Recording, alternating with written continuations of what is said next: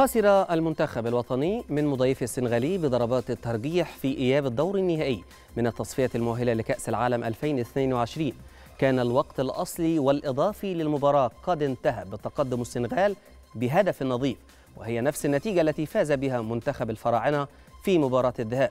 ليحتكم بذلك المنتخبان إلى ركلات الترجيح والتي ابتسمت للمنتخب السنغالي ليتأهل إلى المونديال.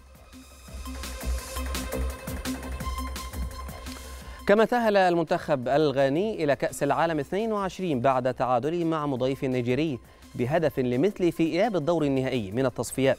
كانت مباراة الذهاب بين المنتخبين. قد انتهت بالتعادل السلبي على الأراضي الغانية ليصعد بذلك منتخب غانا للمونديال مستفيدا من قاعدة للتسجيل خارج الأرض.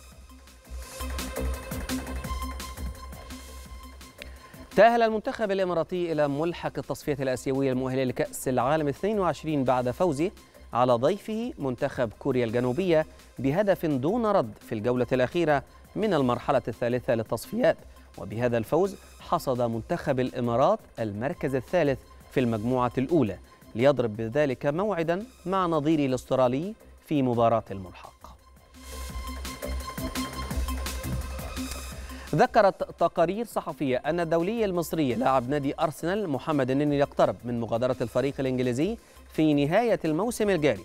وقالت شبكة سكاي سبورتس قالت إنه لم تحدث مفاوضات بين النني وإدارة الأرسنال حتى الآن حول مسألة تجديد عقده الذي ينتهي في شهر يونيو القادم.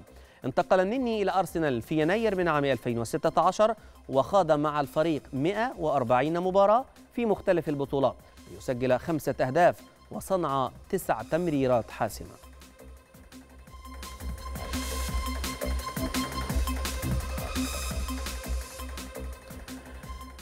انتهت الجولة الرياضية مشاهدينا الكرام نعود للاستكمال ما تبقى في نشرتنا. إليكم شكرا لك مصطفى.